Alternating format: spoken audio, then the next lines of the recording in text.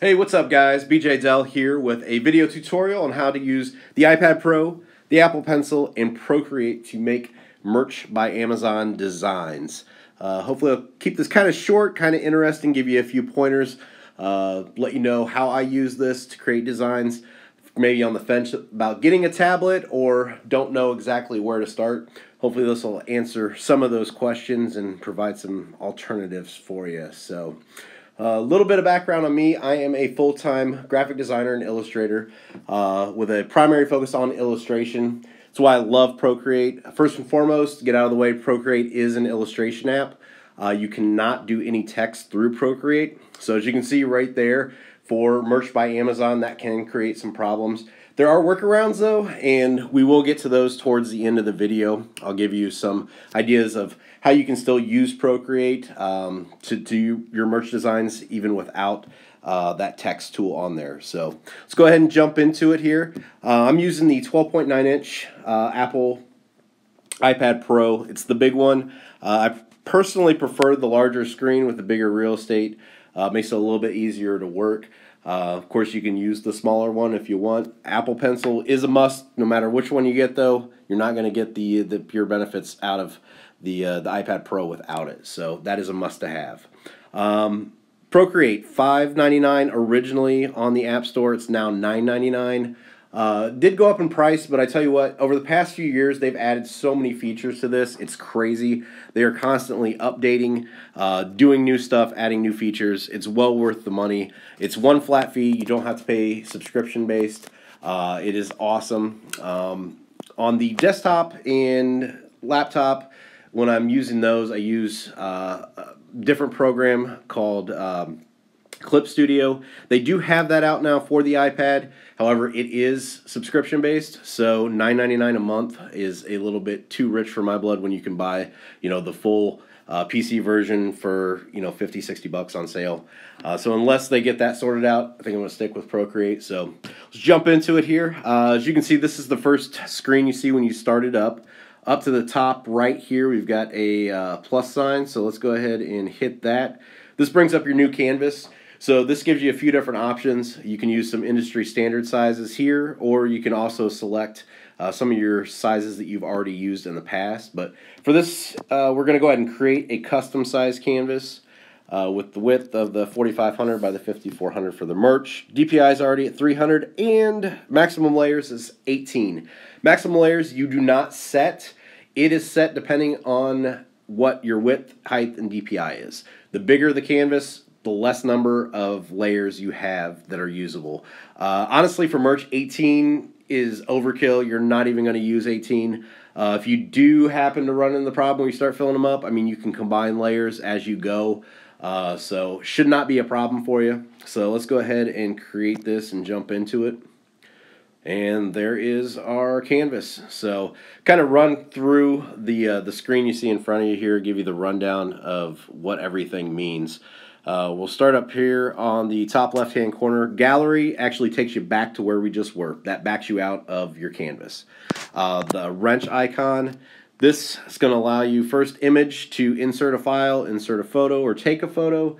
Um, this is kind of cool because inserting a file, they now on iOS 11, uh, Apple has a file structure system, uh, much like you see like on a PC or, or on a Mac, to where you actually have files uh, which is really cool that you can save and export and import through that system. Inserting a photo is actually through your camera roll, so a little bit different. Uh, canvas selection under actions gives you a perspective guide, allows you to flip the canvas. Sharing is once you're done with the, the canvas, you can export to all these different things. Save it as a Procreate file so you can use it on Procreate, send it to another Procreate user. PSD file. Yes, you can save as a PSD. So everything you create in Procreate, you can send over to Photoshop. It saves all your layers. It is fantastic. Um, one thing they've added over the years, it used to be you could only export PSD. You can actually import PSD now, which is really cool. Uh, you couldn't do that before. Uh, only, I guess, caveat with that is when you import the, the PSD file, it does have your layers, but it does not save text layers as a separate raster or a separate editable uh, layer. It is rasterized. Uh, same thing with any filters, stuff like that. Um, it saves any blending layers, but other than that, anything that you do in Photoshop that can't be done in here, it's going to be rasterized. So uh, you can also export PDF, JPEG, PNG, which is important because we're going to export PNG for our Merch by Amazon files and TIFF.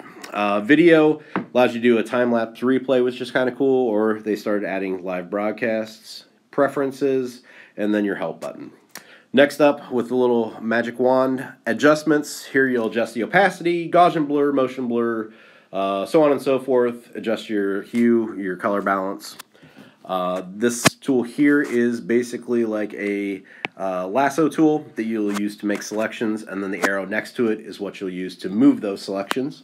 And then jumping over to the far right hand side, we've got the brush tool, so we'll go ahead and click on that. Uh, the left hand here is all the different groupings of brushes. Uh, right now I'm an imported in natural inker.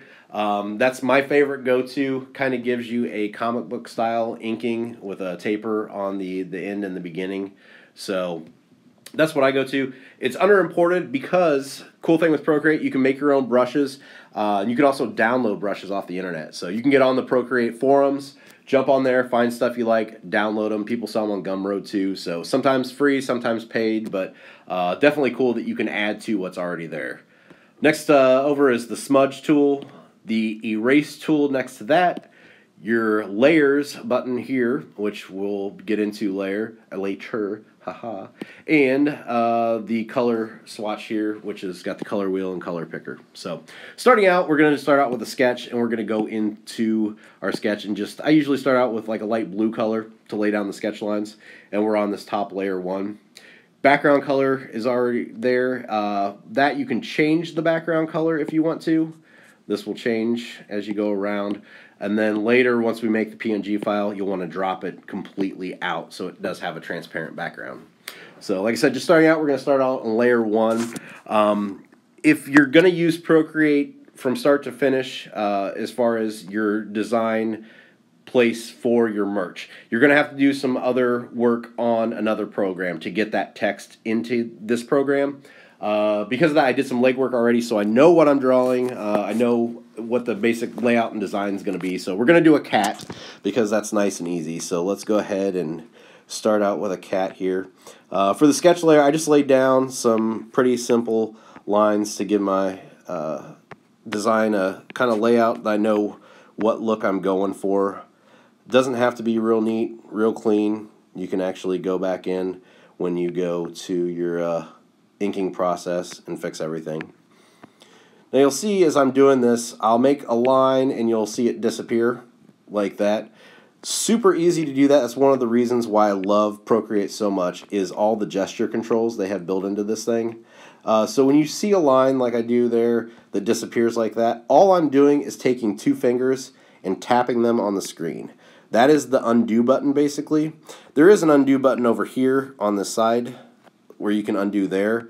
But it's just so much easier when you're holding the pencil and it comes second nature to just go ahead and kick those two fingers on the screen and, and go back. Uh, if you do three fingers, that is to go forward. So if you go back too many times and need to redo it, that's three fingers. Uh, but I tell you what, it is amazing how quick you catch on to it and, and how second natured it becomes. I do a lot of uh, illustration work too with just traditional media, and that response and that reaction has just become so second nature as far as making a mistake and hitting two fingers against the screen that I find myself doing it uh, actually with my traditional media.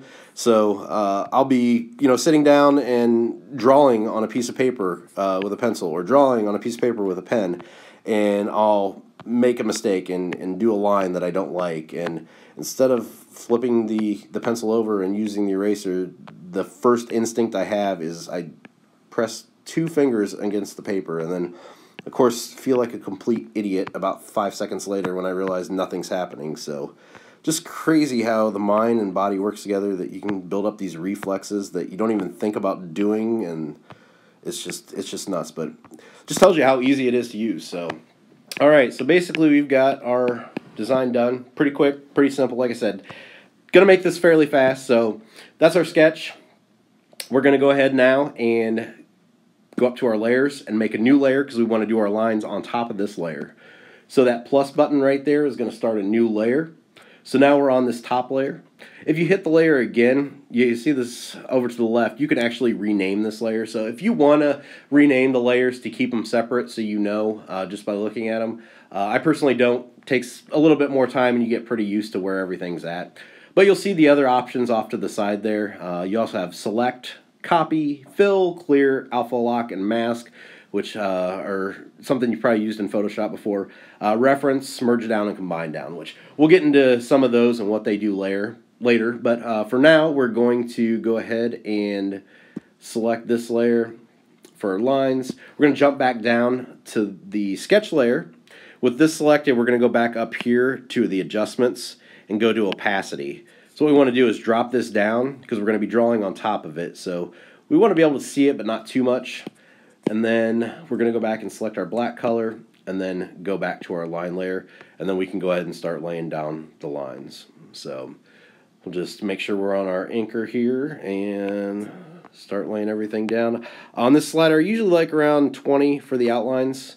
Uh, the cool thing with the Apple Pencil is that it is pressure sensitive. So when you do these inner lines, instead of dropping that size back down to make the inner line smaller, just don't press as hard and you're good. Saves you time from having to go back and forth changing the uh, the size. So it's definitely a, a quick time saver there.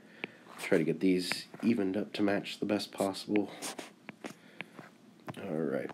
Another thing that you can do is the natural inker, uh, honestly, any of these, the options here is there's an option to adjust the spacing Streamline, which we're going to use, the jitter, the fall off, so on and so forth. Streamline, we're going to turn up.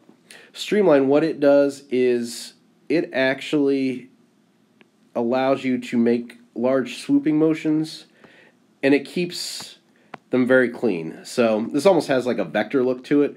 Uh, my hand honestly is not that steady, and that's what it does. It basically uses uh, some computer processing power to make your lines look a lot better than what they might be just using your unsteady hands. So whenever you're making large swoops like that, I, I find that that's like a really, really good tool to switch to and uh, use that streamline. Gives that, like I said, almost like a vector look. So I'm just going to clean up some of these ends. The one thing with streamlining uh, that it doesn't do, the, the fall off and the taper at the end aren't the best you don't have a lot of control over it. So I always like to go back in uh, after I'm done with that and kind of clean up the, the taper on the on the lines. So get that done here real quick. So I'm not sure how this will turn out. I usually would take more time doing a design and make sure that everything is perfect and kind of using this more as just, hey, here's how you do this. So don't want to bore you with just watching line after line being drawn, so I'll try to go through as fast as possible here.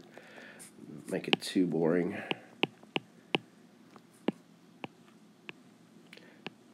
There we go. All right. And once again, down here, we're going to use that streamline for the body. Here's one thing that's cool, too, is if you're doing a streamline here, you've got to worry about overlapping these lines here. What you can do is going back up to your layers, go ahead and add a new layer. And that way you don't have to worry about going over that line. All you have to worry about is, all right, is the shape look right? Once it does, then you can go back in. You can erase that line that you just did and not have to worry about affecting that headline that we've already done. And then once you're done, you can kick back by pinching these two together I've got everything selected now. Taking these two and pinching them together, you can form these back into one layer. So even though they're on separate layers to begin with, you can kick back in there and knock them back down, which is kind of nice because like I said before, if you're finding that you're using too many layers, that's a good way to, to free up some layers is just combining stuff together. So, all right, with these legs down here coming down the middle, we're going to go ahead and add a new layer again so that we can go back in and erase. I'm going to switch this back to streamline off. It's more of the straight lines. I like to do those by hand. It's just those ones that are almost circular that I like to have the streamline on.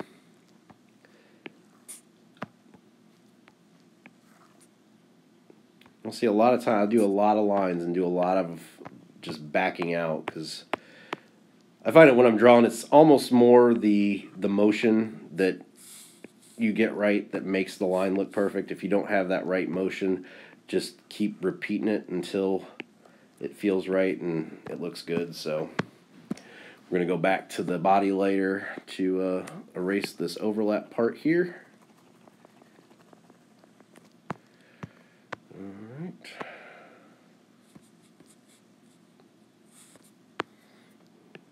Go and knock these out real quick and we'll be done with the the outlines. So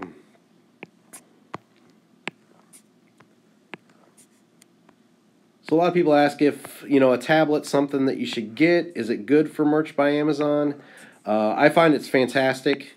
Um, it's just nice not to be stuck at a you know a computer.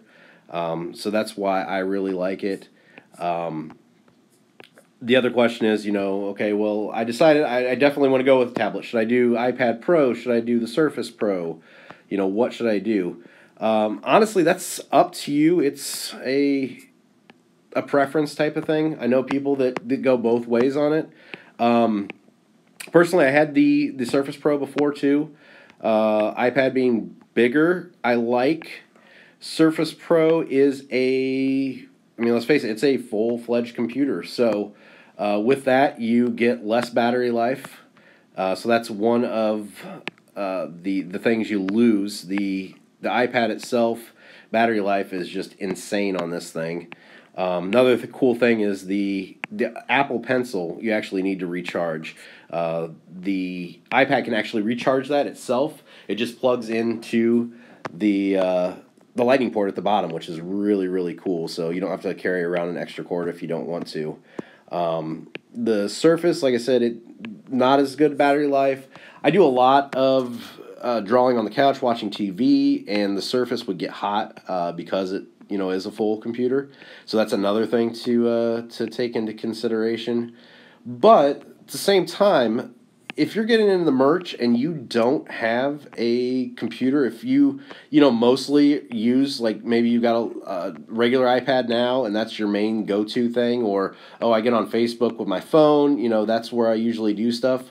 Um, it might be good to go with the uh, the Surface just because I mean, yeah, you're getting the tablet, but you're getting a full computer out of it too. And I mean, be honest with you, you're not going to be able to do absolutely everything all the time with uh, an iPad.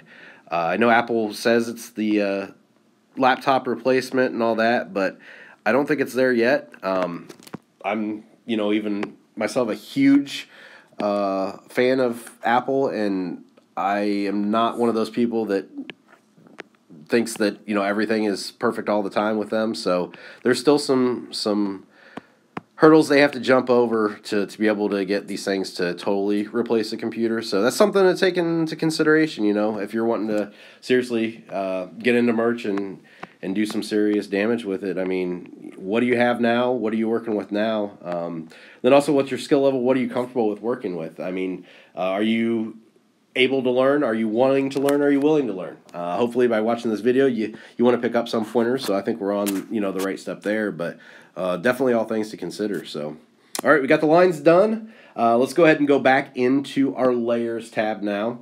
Uh, we're going to combine those last two layers that we did. So we've got one here. Pinch those together. At this point, you can go ahead and either uh, uncheck that box to hide the line uh, sketch layer, or if you want to slide it to the left, you can actually just delete it, knock it out. So we're going to go ahead and do the colors now. To do this, go ahead and hit that plus button again. Uh, the layer above it is open now. We need to pull that below the lines. So just push that, click and drag down. You always want your colors below the line layer. Otherwise, if you color on top, it's going to cover up your lines. So um, clicking on this top layer now with the lines, we're going to do that. Click it again, and it brings up this uh, list that we talked about before. What we're going to do right now is we're going to select reference. What that does is everything that you do in any other layer underneath is going to reference that top line layer. What this allows us to do is color in super easy. So we're going to make this cat brown. And usually if you're on that line layer, you can just click and drag this over to fill in. We don't want to do that on the same line layer though, because when we go to do highlights, it's actually going to cover up the lines. Uh, likewise, if you would do shadows and you had a line layer that wasn't this dark black that we're doing, it would cover up the lines as well and it would look kind of funky. So we're going to go ahead and select that reference. So everything that we fill in down here now is going to fill it in just like it would if it was the line layer but it's actually on this separate layer underneath. So as you can see, I mean, what was it? Like five seconds, our entire cat is colored, and then it's going to take another couple seconds to do the ears. Uh, we're going to do the eyebrows.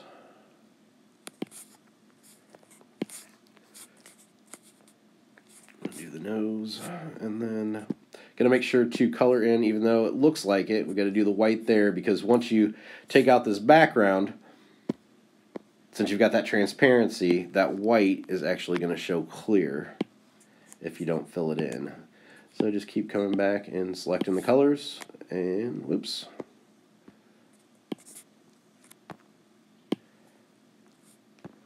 And we're done. So, like I said, that's how fast it is to uh, to color in this. It's it's pretty amazing how quick it works. Uh, so we're good there. The one thing I want to do, oh, there's a little part here where the line comes, oops, comes together. So we'll fill that in. Um, clean up this spot, this spot up here real quick. And as you can see, since I erased up there, the line or the colors didn't go up to that line, so we got to fill those back in. Okay, so we are done now completely with the colors. I said really, really fast. So we're going to go ahead now and make a new layer for the shadows. So we'll hit that plus button again. So the shadows then are in between the lines and the colors. So we're going to go ahead and select a black for the shadows. Uh, this is a, a nice easy way to do this as well. If you select the color layer, hit it and select it. What this is going to do is on this layer here for the shadows, it's going to allow you to color only inside what's colored right now. So, if you try to go outside of the lines, it will not let you. This is a huge time saver because you can go really big and really messy to lay down some thick shadows. You can clean these up later as we go along, um, but this allows you to cover up a lot of space in not a lot of time.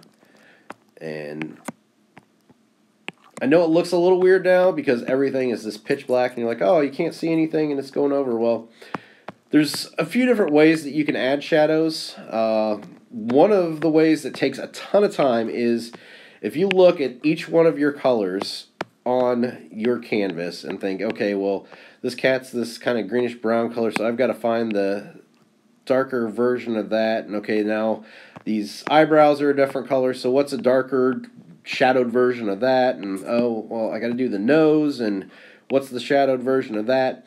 With doing it this way, we're filling it in all black, and then what we're going to do is go in and adjust the opacity.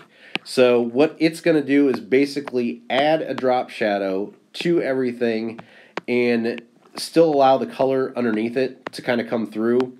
So it's going to make all those colors just the darker versions of themselves.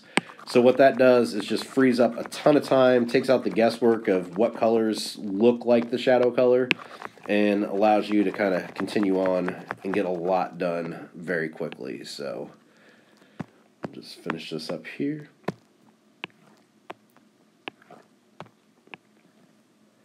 of course, we got the uh, light coming in from the right there, or from the left, so we want the shadow to be here on the right. Uh, also, if you have a spot like this you want to click and drop in, we've still got the line layer as a reference. If you take that off, that'll actually allow you to drop that in and fill bigger spots in at once. makes it a little bit faster as well. There's always things you'll find as you're going along and you're like, oh man, I could do this like this and it'll save me so much time and there's a lot of cool little tips and tricks and that's one of the reasons why I wanted to do the video. I'm sure a lot of people want to see, you know, what it's like to use the iPad for merch. Some people I'm sure already have one and hopefully you'll kind of get some time saving tips out of this to, to speed up your process. So all right, we're going to add a few more shadows here into the ears.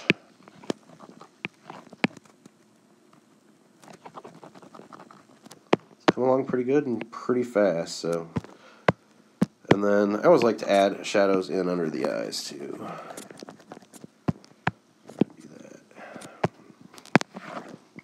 Like I said, you can be pretty messy because once you're done with this, you can go back in and do an erase tool and it'll clean up a lot of the lines, give you some better edges and stuff like that. So, all right, I think we're pretty much done with the uh, the shadows. So, what you need to make sure you do now is click off up here on the arrow, click off of that selection. Because if you would go now and adjust the opacity, it's only going to adjust what's selected right then. If you have to go back and add to it, it's going to go back in black. So now that we've got that deselected, we can go up here again to our adjustments, go to opacity. It's just like we did for the line layer uh, when we were doing our sketch, and just drop this down. You see the change. So we want to get it to where it's dark but not too dark, to where you can still you know tell it's a shadow. So I think about 42% is good. So go ahead and clear that back out. And then like I said, now you can kind of just go back in and clean up those lines.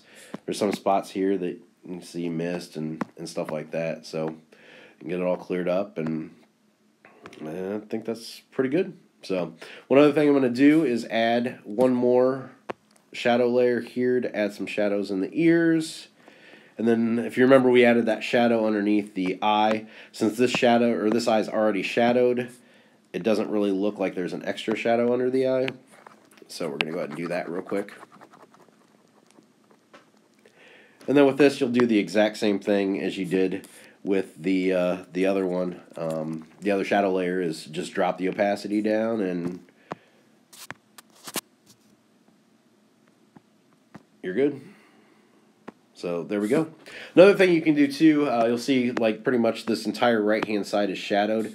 Um, what we can do to add a little bit of highlights without actually adding highlights is just remove some of the shadow on that edge that's facing our light source.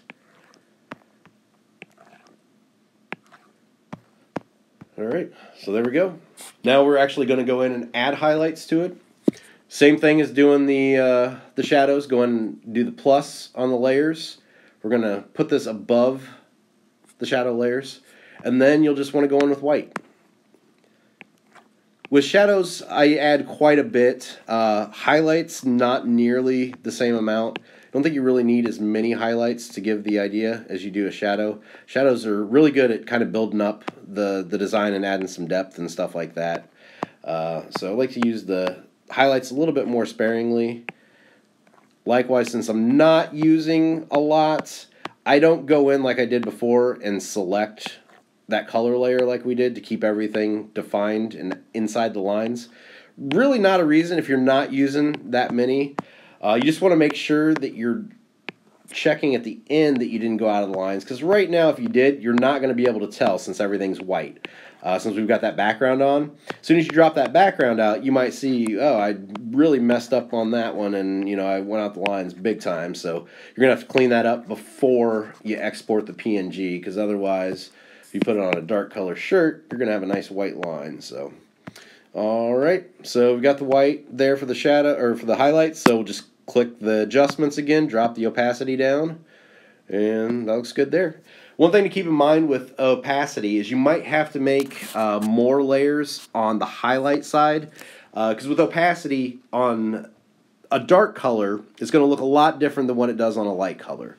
So a like this is a pretty dark cat right now. So the opacity isn't down a whole, or it's down quite a bit to where if it was on a, like, let's say bright yellow, uh, you had that in the, the canvas too, uh, and you had it all in one layer, the opacity of the white is not going to look the same on that bright yellow as it is on this dark color. You're maybe not even going to see it at all. So you'll probably want to make a, a separate one just for that. So, all right. So we are done then with, add a little bit here. We are done then with the, uh, the design itself as far as the cat goes.